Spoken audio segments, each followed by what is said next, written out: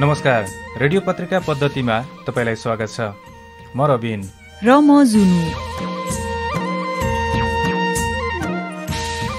Accountability lab र दिनेश एफएमले संयुक्त रूपमा उत्पादन गरेको रेडियो पत्रिका पद्धति सबैका लागि संरचना निर्माणमा सघाउ पुर्याउने एउटा अभियान हो। सक्रिय नागरिक जिम्मेवार नेतृत्व अनि जवाबदेही संरचना निर्माणमा केन्द्रित रहेर हामी यो कार्यक्रम तयार पार्छौं। रेडियो पत्रिका पद्धति तपाईँले हरेक शनिबार बिहान सातदेखि सात तीस बजेसम्म Dinesh FM ninety three point eight mega Dinesh एफएमको website Dinesh Khabar dot com र दिनेश एफएमको फेसबुक पेज दिनेश खबर मार्फत सुन्न सक्नुहुन्छ। र यस कार्यक्रमको पुनः प्रसारण तपाईँले आइतबार राति नौदेखि नौ तीस बजेसम्म सुन्न सक्नुहुनेछ। कार्यक्रम पद्धति कोरोना महामारीले पारेको प्रभाव सम्बोधनमा नागरिक र नेतृत्व बीच सहकार्यको सेतु पहिलाउने अभियान हो। कोरोना महामारीका कारण नागरिकमा परेको असरलाई तीन तहमा रहेका सरकारहरूले कसरी सम्बोधन गरिरहेका छन्? त्यसबारे नागरिकहरू के भन्छन्? स्थानीय तह मार्फत गाउँ गाउँमा पुगेको सरकारले नागरिकका आवश्यकतामा कस्तो भूमिका खेलिरहेका छन्? कोरोनाको प्रभाव सम्बोधनमा सरकारले गरेको खर्चबाट नागरिकले कस्तो अनुभूति गरिरहेका छन्? रेडियो कार्यक्रम पद्धति यिनै प्रश्नहरूको जवाफमा केन्द्रित रहनेछ। आज कार्यक्रमको तेस्रो अङ्कमा हामी कोरोना महामारीका कारण रोजगारी गुमाएकाहरूको अवस्था उनीहरूको लागि स्थानीय स्तरमा रोजगार प्रवर्धन गर्ने कार्यक्रमहरू के के छन् र ती कार्यक्रमहरूमा कसरी पहुँच बनाउन सकिन्छ भन्ने लगायतका विषयवस्तुहरूमा केन्द्रित हुनेछौं।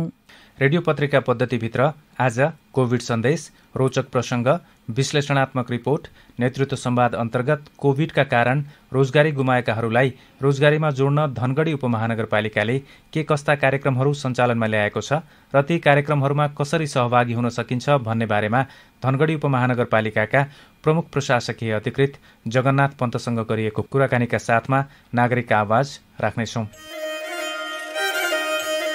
रेडियो पत्रिका पद्धति सुरु गरौं कोविड सन्देशबाट।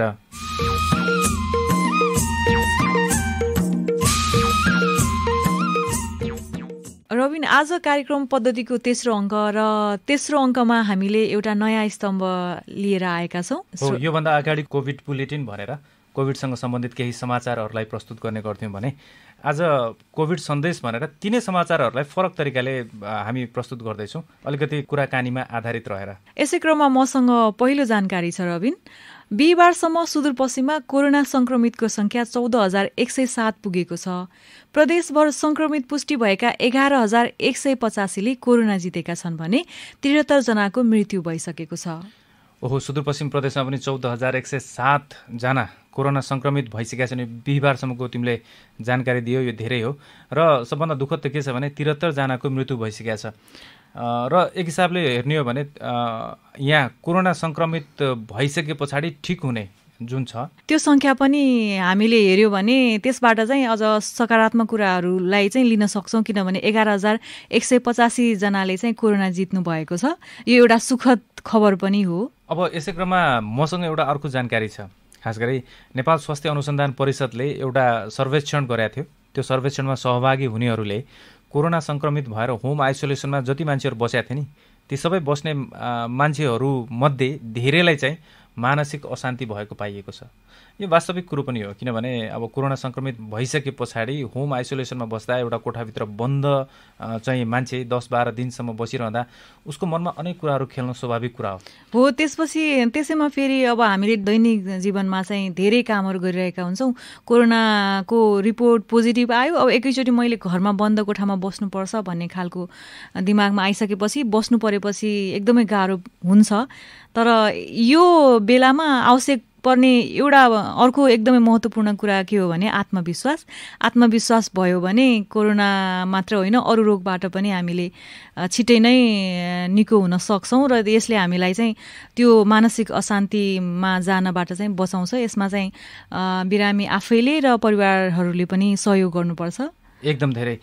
वास्तवमा भने नेपाल स्वास्थ्य अनुसन्धान परिषदले जुन सर्वेक्षण गरेका थियो त्यो सर्वेक्षण गरिएको मध्ये अन्ठाउन्न दशमलव दुई प्रतिशतलाई चाहिँ होम आइसोलेसनमा बस्दा मानसिक अशान्ति भएको पाइएको त्यो रिपोर्टमा छ।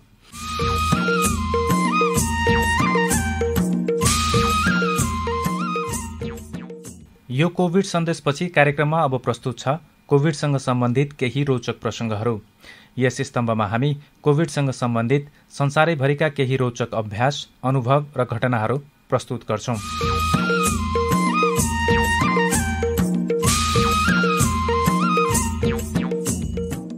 मानिसहरूको अनुहार चिन्ने प्रणाली विकास गर्ने जापानी कम्पनी एनइसीले मास्क लगाएका मानिसहरूको अनुहार चिन्न सक्ने एउटा नयाँ प्रविधि शुरू गरेको छ। यो प्रविधिको उपकरणले मानिसहरूको अनुहारको आँखा निधार जस्ता मास्कले नछेकिएका भागलाई केन्द्रित गरेर हेर्छ। एक सेकेन्ड भन्दा पनि कम समयमा यो प्रविधिले मानिसको पहिचान गर्न सक्छ र यसले उनान्सय दशमलव नौ प्रतिशतसम्म सही पहिचान गर्ने कम्पनीले जनाएको छ। लन्डनको प्रहरीले भीड़मा निगरानीका लागि एनइसीको NeoFace live facial recognition प्रयोग गरिरहेको छ। यसका अन्य ग्राहकहरूमा लुफ्थान्सा र स्विस इन्टरनेसनल एयरलाइन्स रहेका छन्। एनइसीले उक्त प्रणालीलाई टोकियो मुख्यालयमा एउटा स्वचालित भुक्तानी पसलमा परीक्षण गरिरहेको छ। केही सानो संख्यामा भएका अध्ययनहरूले श्वास प्रश्वास प्रणालीका रोगहरूसँग सम्बन्धित भाइरस विरुद्ध शरीरको रोग प्रतिरोधी क्षमतालाई उचित प्रतिक्रिया जनाउन सघाउन भिटामिन डीको सम्बन्ध हुन सक्ने देखाएका थिए। तर विज्ञ तथा स्वास्थ्य अधिकारीहरूले उक्त भाइरस संक्रमण रोक्न र कोभिड नाइन्टिनको उपचारमा भिटामिन डीको प्रयोग गर्ने सिफारिस गर्न र सुझाव दिनका लागि प्रमाणहरू अपर्याप्त भएको पाइएको बताएका छन्।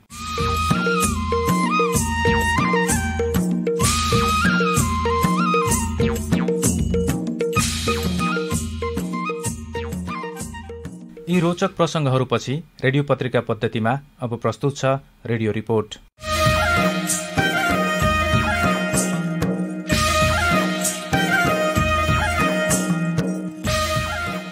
कैलाली सेहेरीका हरि जोशी बिहिबार बिहान धनगढीको त्रिनगर भन्सार नाकामा रोजगारीका लागि भारत जान लागेको अवस्थामा भेटिए। अब इन्डिया पन्जाबतिर जाने। अब यहाँ अब नेपाल सरकारले अब पहिला पनि अब केही गर्छौँ यता गऱ्यो आश्वासन दियो होइन? महिना बस्थ्यो। केही नहन लागेर अब हामी चाहिँ अब पन्जाबतिर अब यसो केही बिरुदार भएर जान लागेको। भारतमा काम गरिरहेका उनी संसारभर एकाएक कोरोना महामारीका कारण त्रासदी फैलिएपछि नेपाल फर्केका थिए। यहाँ आइसकेपछि उनले आफ्नै देशमा केही गरी जीविकोपार्जन गर्ने सोच बनाए र त्यसै अनुरूप केही महिनासम्म यहाँका सरकारवाला निकाय र व्यक्तिहरूलाई पनि भेटे। अन्तत यहाँ केही नहुने भएपछि उनी फेरि रोजगारीका लागि भारतको पन्जाब जाँदै थिए। पहल चालेको थियो हामीले पनि आश्वासन राखेर तिन चार महिनासम्म बस्यौँ होइन? केही यताउता नभएर यता अफिसतिर धायौँ नेताहरूको पछाडि लाग्यौँ लगाउन लगाउन भन्छन् ऊ गर्छन् आफ्नै मान्छे पनि आफ्नै मान्छेलाई हेर्छन् होइन? केही नभएर फेरि यो लास्ट स्टेसनमा अहिले हामी उता गइरहेछौँ हरि एक प्रतिनिधि उदाहरण मात्रै हुन्। बिहिबार बिहान उनी जस्तै त्यहाँ अरू कैयौं नेपाली आफ्नो मनभारी बनाउँदै भारतका विभिन्न ठाउँ जाने गाडी चढ्दै थिए। कोरोनाका कारण रोजगारी गुमाएका उनीहरू नेपालमा केही गर्ने आशासहित आएका थिए। तर यहाँ केही नभएपछि अन्तत फेरि भारत जान बाध्य भएका हुन्। दुई हजार अडसठी सालको जनगणना अनुसार सुदूरपश्चिमको कुल जनसङ्ख्या पच्चिस लाख रहेको छ। रोजगारीका लागि भारत जानेहरूको सरकारी तथ्याङ्क नभए पनि गैर सरकारी संस्थाहरूले गरेको विभिन्न अध्ययन अनुसार सुदूरपश्चिम प्रदेशको कुल जनसङ्ख्याको तीस प्रतिशत कामका लागि भारत जाने गर्दछन्। त्यसबाहेक वैदेशिक रोजगारमा तेस्रो मुलुक जानेको संख्या पनि उत्तिकै छ। सामी परियोजनाका सुदूरपश्चिम प्रदेश प्रमुख पञ्चराम चौधरी। इन्डिया जानेहरूको संख्या उत्तिकै छ। एकै दिनमा अब सहीको सङ्ख्या पनि गएको छ। वैदेशिक रोजगारमा जाने पासपोर्ट बनाउनेहरूको सङ्ख्या कति छ भन्ने कुरा गर्नुभयो भने तपाईँको पन्ध्र बिसजना दैनिक रूपमा पासपोर्ट बनाउन आइरहेका छन्। त्यसमध्येमा करिब अस्सी प्रतिशत मान्छे चाहिँ वैदेशिक रोजगारको लागि पासपोर्ट बनाउँछन् भन्ने कुराहरू छ। यसरी सुदूरपश्चिम प्रदेशमा भारत र तेस्रो मुलुकबाट रोजगारी गुमाएर स्वदेश फर्किएका मध्ये अस्सी प्रतिशत पैंतिस वर्ष मुनिका युवाहरू रहेका छन्। स्वदेश फर्किएका अधिकांश युवाहरू यही सिप अनुसारको काम गर्ने सोचमा थिए। तर यहाँ न उनीहरूको सिपको लगत राखेर त्यही अनुसारको सरकारी नीति बन्न सक्यो न त सरकारी कार्यक्रमहरूले उनीहरूलाई समेट्न नै सक्यो। विदेशबाट फर्किएकाहरूका लागि लागू भएका अधिकांश कार्यक्रमहरू केवल कागजमा मात्रै सीमित भएकाले युवाहरू फेरि विदेशिन बाध्य हुनु परेको बताउँछन् पञ्चराम चौधरी। यो कोभिडको कारणले थुप्रै युवाहरू वैदेशिक रोजगारबाट फर्क्यो। स्वदेशमा केही काम गरौँला भनेर फर्क्यो। तर समस्या के हो भने स्वदेशमा आइसकेपछि उसले काम गर्ने वातावरण उनीहरूले पाइरहेको छैन। चाहे प्रदेश सरकारबाट होस् चाहे स्थानीय सरकारबाट होस् चाहे सङ्घीय सरकारबाट होस्। जुन एउटा मैले इन्भेस्टमेन्ट गर्छु यसरी गर्छु स्वदेशमै रोजगारीको अवसर सिर्जना गर्छु भन्नेलाई भए त्यति सहज पाएन। एकदम केही सीमित व्यक्तिले मात्रै ल जे हुन्छ म गर्छु भने जसले गर्यो उसले चाहिँ सुरुवात गरेको छ। यद्यपि धेरैले त त्यति धेरै रिस्क लिन सक्छ जसले गर्दाखेरि अब यहाँ मेरो गन्तव्य चाहिँ नेपालमै मैले बस्नुपर्ने अवस्था छैन स्थिर भएन भन्ने हिसाबले। फेरि पनि मान्छेहरू इन्डिया होस् या तेस्रो मुलुकमा जाने तयारीमा छन्। अहिले के छ भने थुप्रै कार्यक्रम त ल्यायो सबै कागजमा ल्यायो कि कार्यक्रमहरू। कागजी रूपमा कार्यक्रम त आयो तर त्यसको इम्प्लिमेन्टेसन अर्थात् त्यसमा चाहिँ कार्यान्वयनतर्फ त्यति धेरै अगाडि बढेको देखिँदैन। र अलिकति झन्झटिलो कुराहरू पनि छ तिमीहरूसँग सजिलै युवाहरूको एक्सेसमा छैन।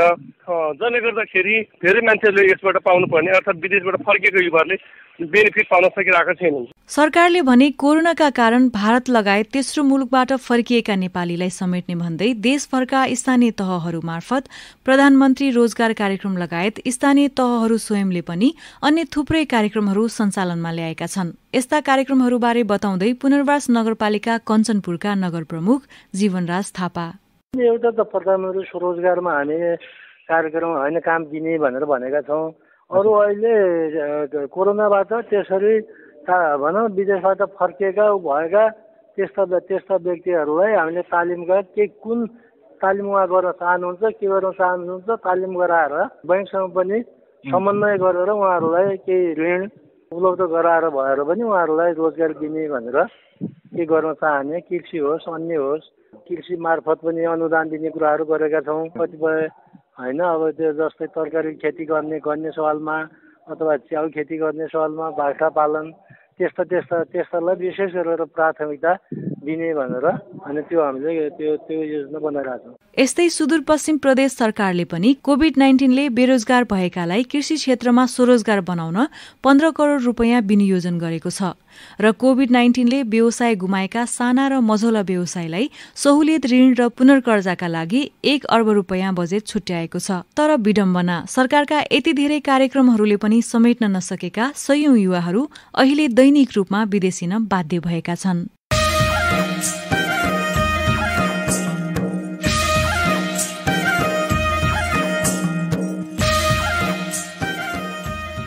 रेडियो पत्रिका पद्धतिमा अब प्रस्तुत छ नेतृत्व संवाद।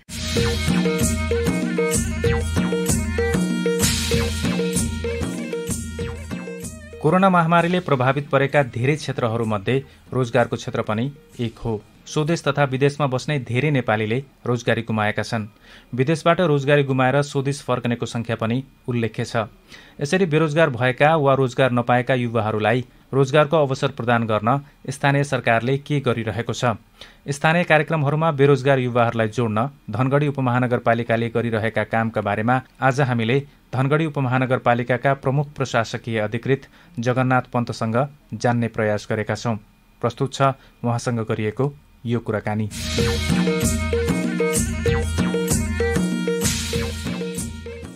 अहिलेको अवस्थामा बेरोजगारहरूलाई रोजगारका अवसरहरू प्रदान गर्न तथा रोजगारीसँग जोड्न स्थानीय स्तरमा खास गरेर धनगढी उपमहानगरपालिकाले के कस्ता सरकारी कार्यक्रमहरू लागू गरेका छ अहिले? यो अहिलेको अवस्था भन्नाले हजुरले यो कोभिड नाइन्टिनले सिर्जना गरेको प्रतिकूल अवस्थालाई इङ्कित गर्न खोज्नु भएको होला। अब कोभिडले गर्दा विदेशमा गएकाहरू पनि विशेष गरेर भारतमा यो असङ्गठित रूपमा अनौपचारिक रूपमा रोजगारीमा गएकाहरू जुन कोभिडको कारणले फर्केर आउनु भएको छ उहाँहरूलाई देशभित्रै अथवा न अहिलेको भनौँ स्थानीय तहभित्रै कसरी रोजगारी सिर्जना गर्ने भन्ने विषयमा नगरपालिकाले विभिन्न साझेदार संस्थाहरूसँग पनि पटक पटक छलफल गरेको छ। र यो हाम्रो एउटा सामी प्रोजेक्ट भन्ने छ। त्यसको एउटा हाम्रो स्थानीय सेवा प्रदायक छ ट्रेस भन्ने संस्था। उहाँहरूसँग हामीले करिब तिन महिना पहिला बसेर छलफल गर्दा उहाँहरूले एउटा स्किम ल्याउनु भएको थियो। पाँच सयजना जतिलाई धनगढी उपमहानगरपालिकाभित्र विशेष गरेर भारतबाट रोजगारी गुमाएर फर्केकाहरूलाई उद्यमी बनाउने भनेर त्यसमा बाख्रा पालन सिकाउने बिस हजारसम्म खोर बनाउन सहयोग गर्ने अनि खेतीपाती गर्न बिउ बिजन उन्नत सहयोग गर्ने प्रविधि सिकाउने भनेर छलफल भएको थियो।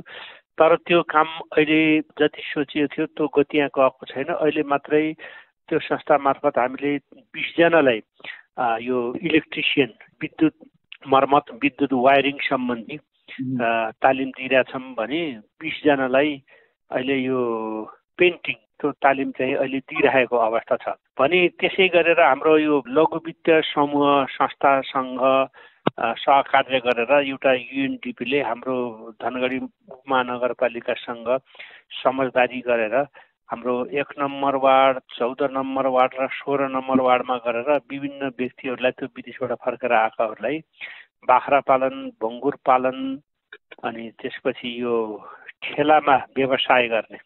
घुम्टी अनि यो सानो घुम्टी पसलहरूमा खोकाहरूमा खुद्रा व्यवसाय गर्ने तरकारी खेती गर्ने कुराहरू सिकाएको छ र अहिले एक सय पचासजना उहाँहरू चाहिँ उद्यमी बन्नुभएको छ व्यवसाय सुरु गर्नुभएको अवस्था चाहिँ छ र केहीले प्रतिफल पनि पाइसक्नु भएको अवस्था छ। यो तपाईँहरूलाई साझेदार संस्थाहरू मार्फत उहाँहरूसँग जोडिएर गर्नुभयो। तपाईँहरूको आफ्नै संयन्त्र छ उन्नाइसवटा वडा कार्यालयहरू छन्। उहाँहरू मार्फत के अरू कार्यक्रमहरू चलिरहेको अवस्था होइन। हाम्रो के छ भने हाम्रो पनि कृषिसँग जोडिएका कार्यक्रमहरू छन्। महिला तथा बालबालिका ज्येष्ठ नागरिकसँग जोडिएका महिला विकास सम्बन्धी कार्यक्रम छन्। पशु सेवासँग जोडिएका कार्यक्रमहरू छन् जसले यो लाइभलीहुड भन्छ नि यो त्यसमा प्रत्यक्ष रूपमा सहयोग गर्छ।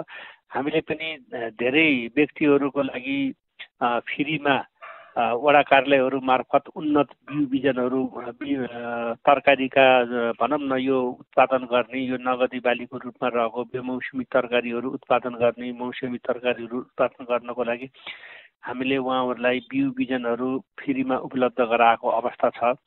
पशुपन्छी पाल्नेहरूलाई फ्री उपचार गराउने व्यवस्था छ। अब यो आर्टिफिसियल गर्भाधान गर्ने एआईको चाहिँ सुविधाहरू पनि दिइराखेको छ।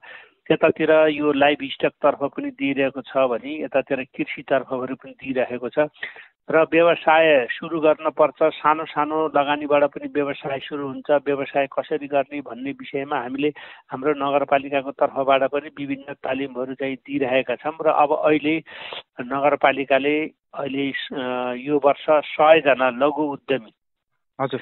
तयार गर्ने भनेर अहिले हाम्रो सहजकर्ताहरूले हाम हामीले यो उद्यम विकास सहजकर्ता दुईजना नियुक्ति गरेर उहाँहरू डाटा सङ्कलन गरिराख्नु भएको छ।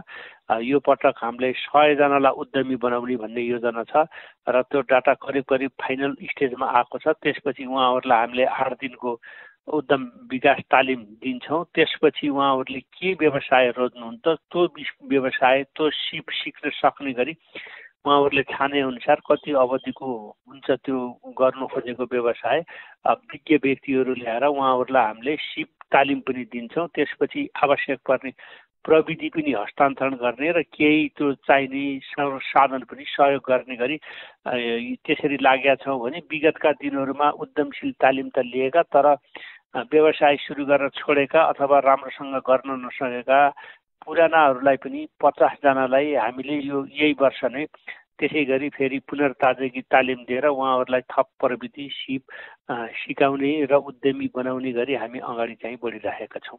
ती कार्यक्रमहरूबाट खास गरी अवसर अथवा सहयोग प्राप्त गर्नका लागि युवाहरू खास गरी बेरोजगार छन्। उनीहरूले के कस्तो प्रक्रियाहरू अपनाउनु पर्छ कहाँ गएर सम्पर्क गर्नुपर्छ? होइन यो विषयमा यस्तो छ हामीले वडा कार्यालयहरू रोजेका छौँ वडामा सूचना पठाएका छौँ र त्यो हाम्रो गाउँमा नै हामीले सहजकर्ता पठाएका छौँ। त्यहाँ गएर बस्ती स्तरमा छलफल गराएर उहाँहरूलाई को भनाइ राखेर फारम भराएर त्यसपछि सर्ट लिस्टिङ गरेर हामीले चाहिँ त्यसरी छनौट गर्छौँ। त्यसमा महिला अपाङ्गता भएका अनि त्यसै गरी चाहिँ पछाडि परेका वर्गहरूलाई विशेष ग्राह्यता दिने त्यो होइन त्यो त्यो त्यसमा सबै छ। त्यो ग्राह्यता नै फर्स्ट प्रायोरिटी राज्यले दिँदाखेरि त उहाँहरूलाई नै हेर्नुपर्ने हुन्छ। अब एउटा के छ भने तपाईँले अघि पनि भन्नुभयो जस्तो तालिमहरू कतिपय अवस्थामा वर्षौँदेखि तालिम तालिमका लागि मात्रै लिने गरिन्छ। तालिम लिइसके पछाडि उनीहरूको फलोअप गर्ने उनीहरूलाई रोजगारसँग जोड्ने कार्यक्रमहरू चाहिँ हुन सकिरहेको छैन। तालिम लिन्छन् मान्छेले त्यसपछि त्यसलाई सिपलाई व्यवहारमा प्रयोग गर्छन् त्यो रोजगारसँग जोड्नका लागि के गर्नु पर्ला त्यो त्यो हजुरले भनेको कुरा एकदम सही कुरो हो। हामीले नेपाल सरकारले भनौँ हिजोका दिनहरूमा अब राज्यले जे जति तालिमहरू दियो वास्तवमा त्यसको उपलब्धि धेरै कम छ। जस्तै यो उद्यमीहरू तयार गर्ने यो गरिबी निवारणका लागि लघु उद्यम कार्यक्रम भनेर हामीले सुरु गरेकै बाह्र चौध वर्ष भइसक्यो। तर व्यवसाय कतिले गरे भन्ने कुरा हेर्दाखेरि बहुत कमले गरे अवस्था। र अर्को कुरो मैले पनि हजुरलाई भने जस्तो हाम्रो यो महिला विकासतर्फका कार्यक्रमहरू कृषिका भेटनरीका कार्यक्रमहरू यो लाइभलीहुडतर्फका कार्यक्रमहरू जति पनि छन् यो केन्द्रबाटै अहिले पनि सशर्त अनुदानबाट उहीँबाट तोक दिएर सतहत्तरै जिल्ला सात सय त्रिपन्नै स्थानीय तहका लागि एउटै कार्यक्रम माथिबाट तय गरेर आएको हुन्छ। नामै सशर्त। त्यसमा हामीले चेन्ज गर्न नपाइने अलिकति पनि। सबै स्थानीय तहमा एउटै हो भन्ने छैन नि। त्यो माथि बसेर बनाइदिने चलन छ। त्यो जुन कार्यक्रमै तोकिदिएर आउने त्यसमा गऱ्यो भने गऱ्यो गरेन भने फेरि त्यो फिरिस हुन्छ। अनि त्यसपछि न कसैलाई चाहिँ पुग्ने गरी ज्ञान हुने न कसैलाई केही गर्ने गरी हुने किसिमको त्यो विभिन्न कठिनाइहरू छन् त्यसका बावजुदहरू पनि हामीले गरेका छौँ। र अब हामीले यो उद्यमशील तालिम तयार गर्दाखेरि गरिबी निवारणका लागि लघु उद्यम उद्यमी तयार गर्ने गर्दाखेरि हामी उहाँहरूलाई सिकाउने पनि तालिम पनि दिने प्रविधि पनि दिने र उहाँहरूलाई चाहिने बिउ पुँजीहरूका लागि वित्तीय संस्थाहरूसँग सम्पर्क पनि गराइदिने र उहाँहरूलाई कलेक्टिभली भए पनि कसरी काम गर्न सकिन्छ त्यसमा चाहिँ नगरपालिकाले लगानी गर्न पर्यो भने पनि उहाँहरू उत्साहित हुनुभयो भने उहाँहरूले तिर्न सक्ने गरी गर्ने सोचका साथ हामी अगाडि बढेका छौँ। त्यस हुनाले अब हामीले गरेका कार्यक्रमहरू अलपत्र पर्दैनन्। यो मान्छेले तालिम लिने छोड्ने अथवा एउटै मान्छेले पटक पटक लिने तर केही पनि उपलब्धि नहुने तालिममा सहभागी मात्रै हुने किसिमको प्रवृत्ति अन्त्य गर्नुपर्छ भन्ने सोचका साथ हामी अगाडि बढेका छौँ। तपाईँले माथिको कुरा गरिरहँदा सङ्घीय मामिला तथा सामान्य प्रशासन मन्त्रालयले स्थानीय स्तरमा रहेका बेरोजगार युवाहरूलाई रोजगारका अवसरहरू प्रदान गर्न उनीहरूको सङ्ख्याका साथै योग्यता अनि त्यसै गरी सिपको लगत लिन हरेक स्थानीय तहलाई पत्रचार गरेका थियो केही समय अगाडि। त्यसको अवस्था के छ अहिले? यस्तो छ उहाँहरूले कति विदेशबाट आए कति गए भन्ने कुराहरू छ। अब यो इमिग्रेसनको कुरा पनि हो हाम्रो खुला सिमाना छ। फलाना देशबाट कति आए भनेर भन्दाखेरि उही हाउस होल्ड सर्वेकै कुरा आउँछ त्यसो भएको हुनाले अहिले हामीले एउटा काम अगाडि बढाउँदैछौँ डिजिटल प्रोफाइल बनाउने। त्यसमा अब हाम्रो त्यो कामको हामीले इनिसिएसन गरिसकेका छौँ फर्स्ट बैठक सकिसकेका छौँ। अबको दस पन्ध्र दिनभित्रमा हामीले तथ्याङ्क सङ्कलकहरूलाई घर घरमा पठाउनेवाला छौँ। मान्छेहरूको सबै त्यो घरको सबै सम्पूर्ण स्ट्याटस आउने गरी डिजिटल प्रोफाइल बनाउँदैछौँ। त्यो डाइनामिक तथ्याङ्क हुन्छ त्यो कसैको केही परिवर्तन हुने बित्तिकै त्यसैमा डिजिटल्ली परिवर्तन पनि गराउन सकिन्छ। त्यो तथ्याङ्क हामीले अलिकति वैज्ञानिक रूपमा लिँदैछौँ। माथिबाट आएको कुरा लेखिया परिपत्र गर्दैका भरमा अन्य कुनै बिना संयन्त्र हुँदैमा त्यो त एक्ज्याक्ट आउँछ भन्ने छैन। तर हामी त्यो ती सबै कुराहरूलाई मध्यनजर गरेर डिजिटल प्रोफाइल बनाउँदैछौँ। त्यो डिजिटल प्रोफाइल डाइनामिक हुन्छ। हामीले तथ्याङ्क सङ्कलकहरू घर घरमै पठाउँछौँ। मोबाइलबाटै डाटा कलेक्सन हुन्छ। त्यो मोबाइलबाट लिएको डाटा उहाँहरूलाई तालिम दिएपछि त्यो हाम्रो सर्भरमा उहाँबाट क्लिक गर्ने बित्तिकै यहाँ आएर बस्छ। र एकदम यथार्थपूर्वक तथ्याङ्क आउँछ। व्यक्तिहरूको जग्गा जमिन रोजगारी अवस्था शैक्षिक योग्यता परिवार सङ्ख्या सबै चिज आम्दानी खर्च ती सबै विषयहरू हाम्रो विदेश गएको नगएको विदेशबाट फर्केको नफर्केको ती सबै चिज आउने गरी छ र करिब करिब त्यो तिस पैँतिस दिन लाग्छ त्यो डाटा सङ्कलन गर्न। त्यसपछि हाम्रो चाहिँ यो प्रोफाइल चाहिँ तयार हुन्छ। र अर्को कुरो हामीले प्रधानमन्त्री रोजगार कार्यक्रम पनि नेपाल सरकारले लागू गरेको छ। त्यस मार्फत पनि अहिले युवाहरूलाई रोजगारी दिने गरेर कार्यक्रमहरू छनौट भइसकेको छ हाम्रो। यो सय दिन कम्ती कम कमसेकम यो यतिजनालाई रोजगारी सिर्जना गर्ने भन्ने कार्यक्रम पनि युवा लक्षित छ भने अर्को कुरो विभिन्न योजनाहरू पनि छनौट भएका छन्। त्यसमा श्रम बुलक हो।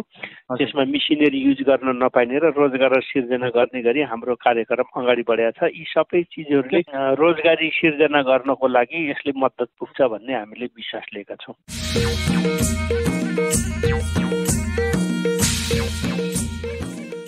उहाँ हुनुहुन्थ्यो धनगढी उपमहानगरपालिकाका प्रमुख प्रशासकीय अधिकृत जगन्नाथ पन्त। उहाँसँग आज हामीले स्थानीय कार्यक्रमहरूमा बेरोजगार युवाहरूलाई जोड्न धनगढी उपमहानगरपालिकाले गरिरहेको कामका बारेमा कुराकानी गर्यौं। नेतृत्व संवादपछि कार्यक्रममा अब पालो भएको छ नागरिक आवाजको।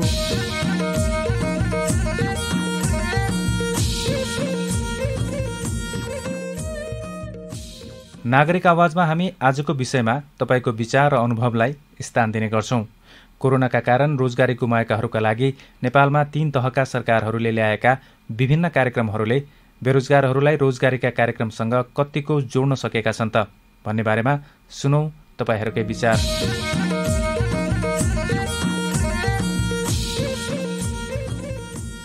नमस्कार मेरो नाम घनश्याम भण्डारी। कोरोना प्रभावितहरूका लागि सरकारले विभिन्न कार्यक्रमहरू ल्याएको थियो। त्यो कार्यक्रमहरूमा राहत अनुदानका कार्यक्रमहरू पनि थिए। त्यो अनुदानका कार्यक्रमहरू पशु पन्छी मन्त्रालय अन्तर्गत कृषि विज्ञ केन्द्रहरू र भेटनरी विज्ञ केन्द्रहरू मार्फत फर्महरू भराएर किसानहरूलाई कोरोना प्रभावित क्षेत्रहरूबाट आएका त्यसमा फर्म भर्न सोचाइएको थियो र त्यही अनुसार फर्म पनि भरेका थिए र त्यही अनुसार फर्म भरेका मध्ये केही छनौटमा परेका छन्। कसैलाई बाख्रा पालन तालिम कृषि लगायत पशुपन्छीको सम्पूर्ण पालनका कार्यक्रमहरू पनि त्यसमा समेटिएका थिए। एक हिसाबले यो राम्रो खुसीको कुरा पनि हो अनि अर्कोचोटि चाहिँ मैले देखे अनुसार कृषि र भेटनरी विज्ञ केन्द्रमा आएकाहरूले चाहिँ आफू निकटकालाई मात्रै उक्त कार्यक्रमहरूमा छनौट गरेको गुनासो पनि गर्नुभएको थियो। तर समग्रमा भन्नुपर्दा चाहिँ यो कार्यक्रम चाहिँ मलाई चित्त बुझेकै छ। नमस्ते मेरो विवेक भण्डारी सिमनगर एकबाट हो।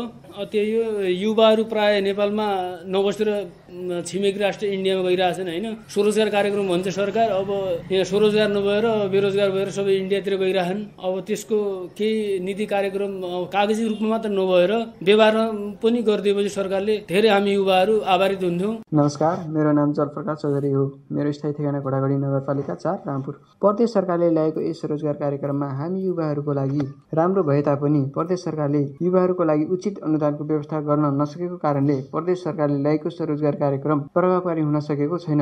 मेरो नाम अम्बरा धामी। मेरो घर चाहिँ गौरी गङ्गा नगरपालिका चार राजीपुर हो। विदेशबाट आएका युवाहरू रोजगार पाएनन्। पाएको भए यो कोरोनाको प्रभावले गर्दा। स्वरोजगार पाएन भनौँ। पाएको भए विदेशतिर जानु पर्थेन होला। नमस्ते मेरो नाम चाहिँ अमन भण्डारी। अहिले सरकारले चाहिँ स्वरोजगार कार्यक्रम दिइरहेछ भनेर खोइ कहाँ छ कहाँ छ? हामीलाई त थाहै छैन कहाँ छ कहाँ छ।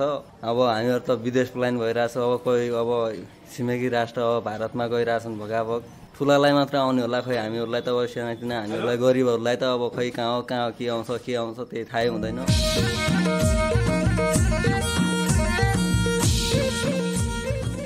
नागरिक आवाजमा तपाईँ पनि सहभागी हुन सक्नुहुन्छ।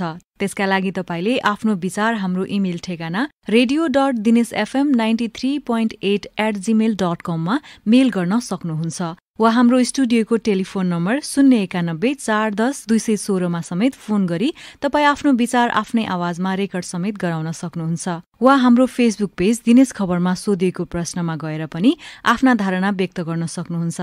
हामी तपाईँका विचारलाई कार्यक्रममा स्थान दिनेछौं। आजको कार्यक्रममा हामीले कोरोना महामारीले नागरिकको रोजगारीमा पारेको प्रभाव र त्यसलाई सम्बोधन गर्न सरकारले ल्याएका कार्यक्रमबारे सामग्रीहरू प्रस्तुत गर्यौं। नागरिकको रोजगार प्रवर्धन गर्न सरकारले थुप्रै कार्यक्रमहरू अघि सारेको छ र त्यसबारे नागरिकहरू अझै पनि अनभिज्ञ छन्। नागरिकको सहभागिता बिना सरकारका कार्यक्रमको औचित्य रहन्न। त्यसैले सरकार र नागरिक बीच हातेमालो अपरिहार्य छ।